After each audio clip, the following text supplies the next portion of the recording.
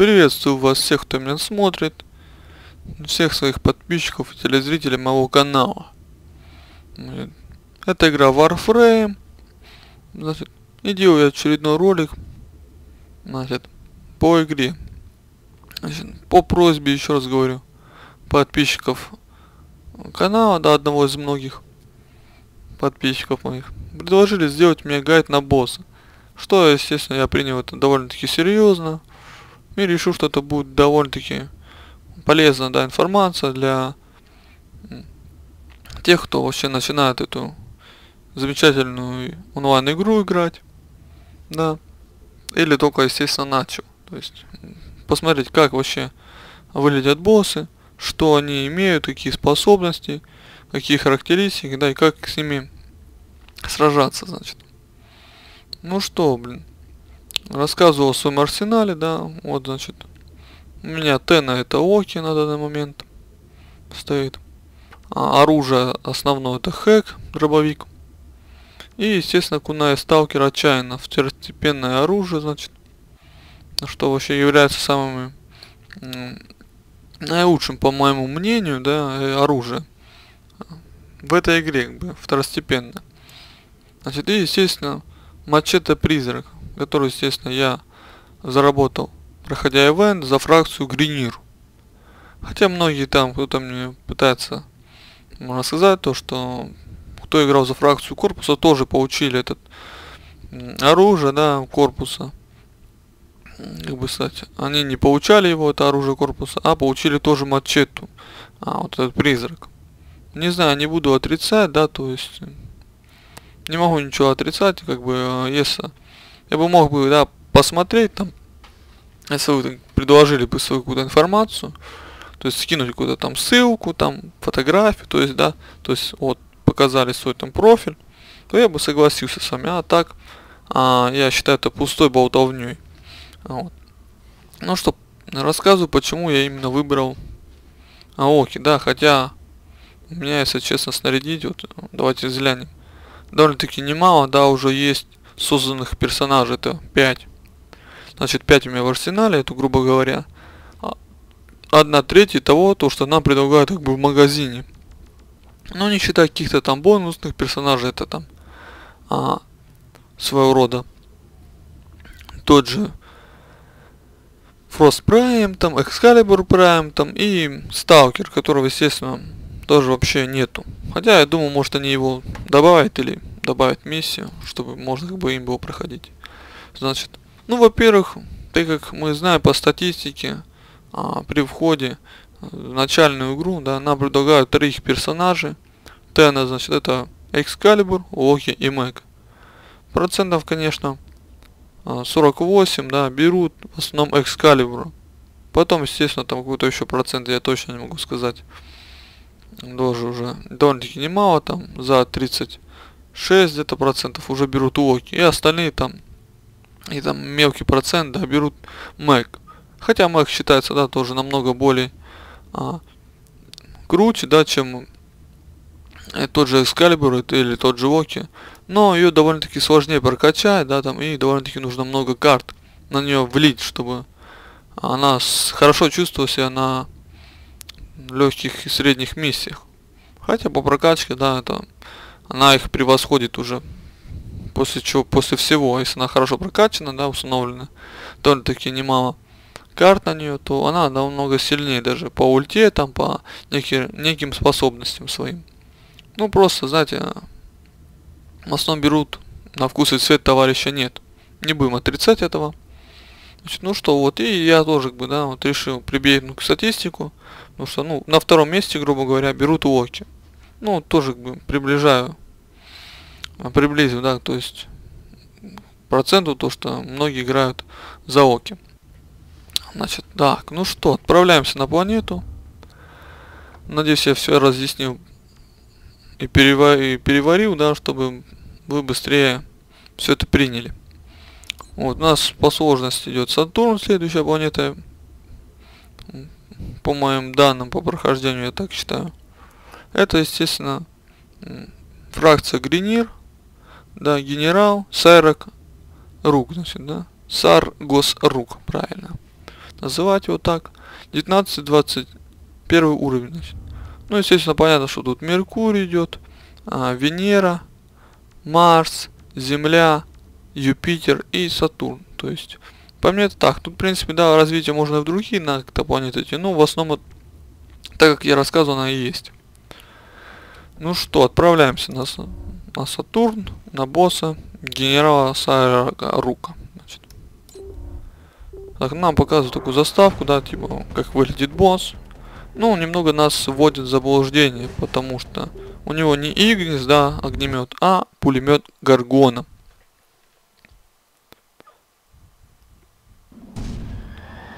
Так, вот нам сложность четвертая, фракция Гренир и, естественно, убийца. Цель наше убийство. Так, уничтожить цель. Отлично.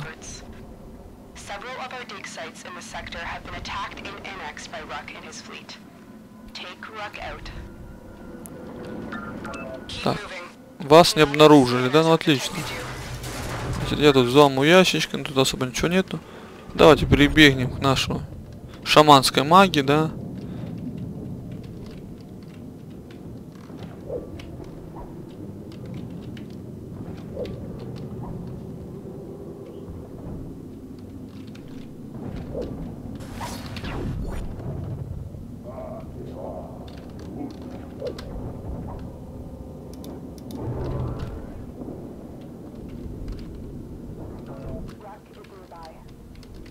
Так, опасный враг, да?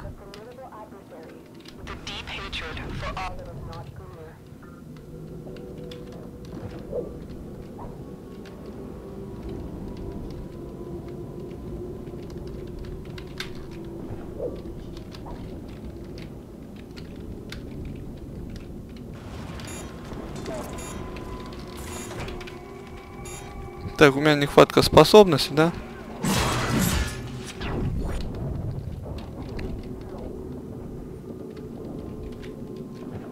Ну ты умрешь падать сегодня или нет?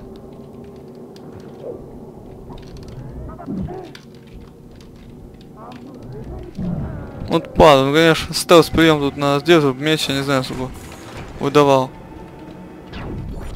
Ну сами видите, да, тяжело его убить в стелсе.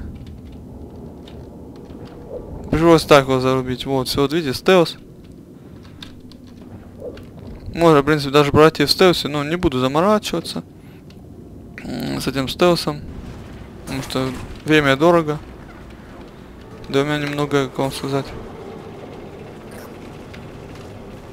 энергии, чтобы проходить. А шейд падал даже не делает, хотя вроде бы, да? Вот тут трое.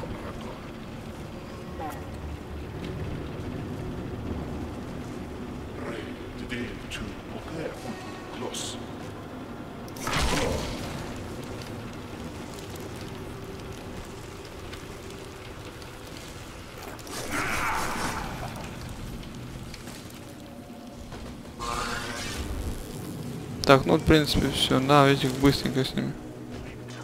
Вроде бы нас не обнаружили, хорошо. То есть тише будем дальше, едем. Ну что-то в этом духе.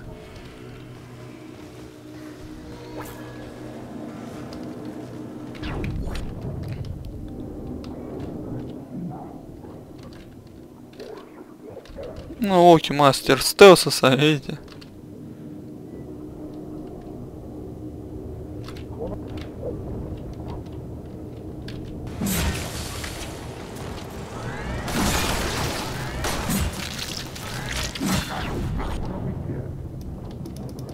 Не буду заморачиваться, что нужно много энергии там. Конечно, можно в стелсе пройти там всю игру, да. Не вижу смысла тут. А, подкрадываться там что-то. Так, всех поубиваю.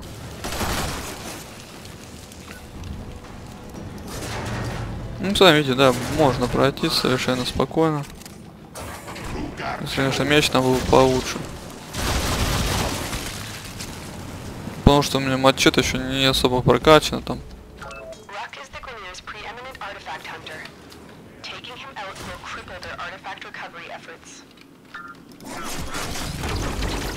Не успел.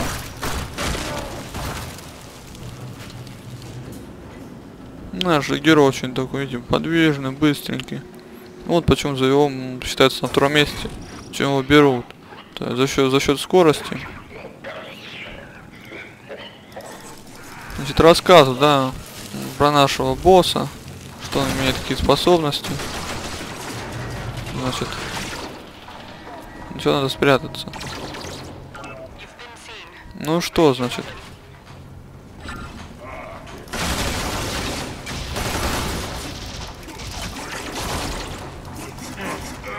Так, ну вот, в принципе, наберем энергии, да, заранее.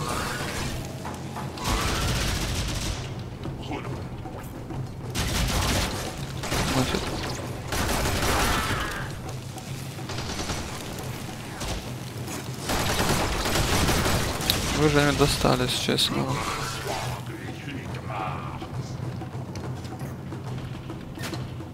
Ну что, рассказываю. Наш босс довольно-таки проблематичный, значит, да, у него есть ряд неких опасных способностей. Значит, первая, да, способность это такое силовое поле, которое нас окружает и весь, короче, выпускаемый нами урон, да, то есть это рикошет, грубо говоря, да, то есть что мы стреляем, получаем а, обратно, то есть возвращается весь урон, который мы наносим в этом поле. Это очень самая такой а, офигенная егошная способность, да.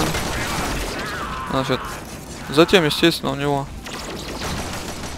еще одна есть способность, это щит вольта. Когда у него а, мало достаточно оружия, он его применяет, и он стоит достаточно долго. И он на нем находится. Затем у него есть такой удар, который, естественно, нас сбивает с ног. Ну и, естественно, а, очень мощное оружие. Это пулемет Гаргона, с которым он довольно-таки не слабо, да, наносит урона нам на средних дистанциях. То есть нам нужно как-то стараться скрыться, да, и быть внимательным, чтобы на нас не попадало это поле, значит. Сейчас вам покажу, как оно выглядит. Вот, и, естественно, еще он призывает постоянно своих товарищей. Генерал Сайра Круг, вот он так выглядит. Значит, видите. Ну, блин, пока этот бегал, да, но сейчас мы ультанем. Я от товарища ничего не оставлю. Значит. И он их постоянно призывает, но я с ними быстренько сейчас разделаюсь. Надо побольше брать энергии. Вот он, нас окружил таким полем, да. То есть... Если, конечно, стрельнуть в этом поле, да, вот так, видите, то эти щиты уменьшаются. То есть у меня сотня а, вылетела, да, сами видите. Я один, один куначик только кинул. Значит, ага. Ну, если, конечно, держаться на расстоянии, оп, я становлюсь невидимым. Беру дробовичок, кидаю приманочку. Вот он, естественно, видите, такой тоже сфера, видите, окружает. А, нас полем, да, который, естественно, наносит неплохо урон. Типа как, как у Мэг, да? Вот. Вс- И вот еще все пули пролетающие носят нам урон.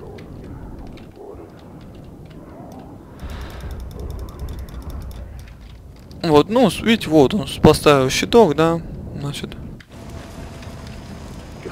Мы прячемся, уходим. Расстреливаем их товарищей. Он тоже довольно-таки бронированный. Вот, собираем энергию. Ну эти оки даже, да, если хорошо прокачаны и грамотно им играть, довольно-таки хороший персонаж. Но обратно же он в команде как бы, сам по себе, то есть. Он обратно ставит, да, думает, что мы там. Но мы не там. И, естественно, мы его убиваем. Вот, в принципе, да, сами заметите, да, то есть. Вот, да, достаточно такими а, сильными способностями, но он очень такой по здоровью, по броне слабый. Уровень его зависит по-разному. В основном от конклав до вашей команды, то есть Чем больше людей, тем больше уровень увеличится. То есть в основном у него уровень на 2, на 3 уровня больше. То есть основных врагов. А, но, обратно же, если там 4 персонажа, да, играют, то есть в вашей команде, но то уровень может возрасти в один раз и даже в два раза. Все в зависимости от уровня вашей команды. То есть, да, то у одного, предположим, там 9 будет, у второго там 10, то есть он уже будет не 10, а, грубо говоря, 40 уровня. То есть на 2 даже уровня больше. Или даже на 3 так. Они там перекрыли мне ход, падаю. Но это их не спасет. Я убиваю пулеметчика с мачете. О, да, еще одного. Подрубливаю так. И стороживу тоже. На корм пускаю. Все, значит. Мачете ведь вот делает свое дело, знает. В принципе, очень неплохое оружие. Мне так нравится оно. Ну и быстренько выбираемся, не буду задерживать, да, то есть видео тоже своего рода ограничено по времени.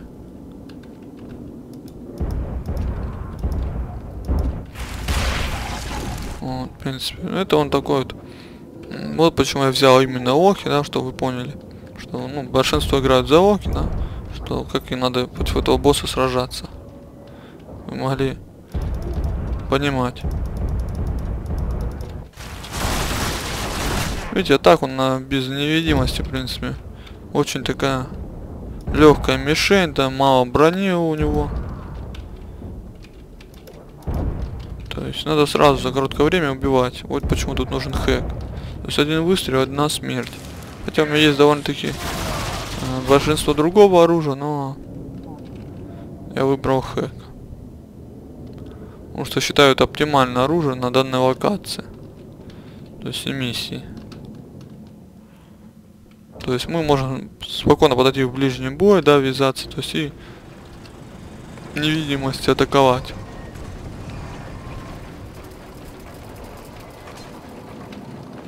Ну, блин, ну куда ж ты упал-то? Куда ты, блин, шустер собрался? То есть... Ну, сами видите, да, все. Ну, блин, невидимость кончилась. У меня энергия начала закончилась. Пока они отключены, да, прямо. Здесь могу, могу пострелять. То есть нам нужно короткое время мощное оружие и убить всех.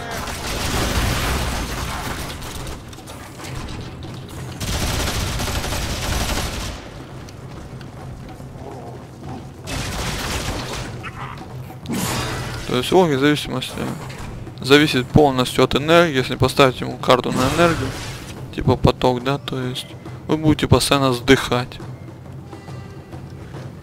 Конечно, очень Видите, да, уровень не очень такой большой.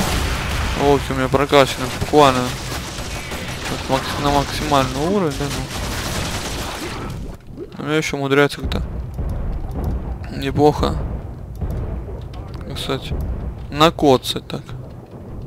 Чтобы щиты обнулить полностью, я бы так сказал даже. Стараюсь, конечно, побыстрее, но...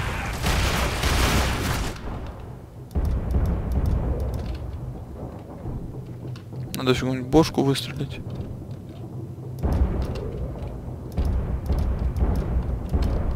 Добьем этих ублюдков, пока они невидимы. Чтобы они не гнались за мной. Ну, тоже походу конец, да.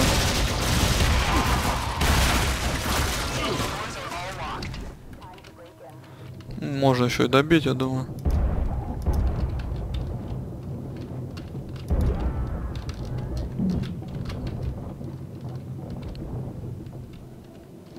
Ничего нету, да?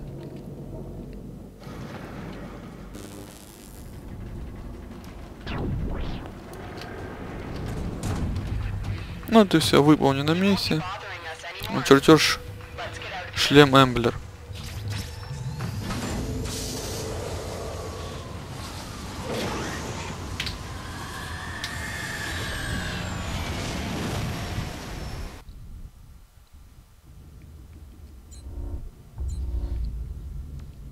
Ну вот 100 я убил, значит выстрел в голову 11, значит убийство в ближнем бою 16. Ну, получено улучшение 5, отлично.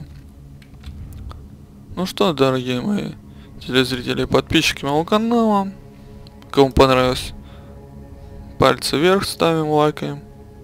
А вот. Если вы первый раз зашли на канал, да, то есть и вам это достаточно интересно, мои, мои гайды, мое видео, будьте добры подписываться на канал и ждите нового материала по Warframe, по другим каким-то составляющим игр на моем канале. И, естественно, можете зайти в плейлисты, может для вас там что-нибудь найдется даже интересно. Ну, всем удачи и до свидания.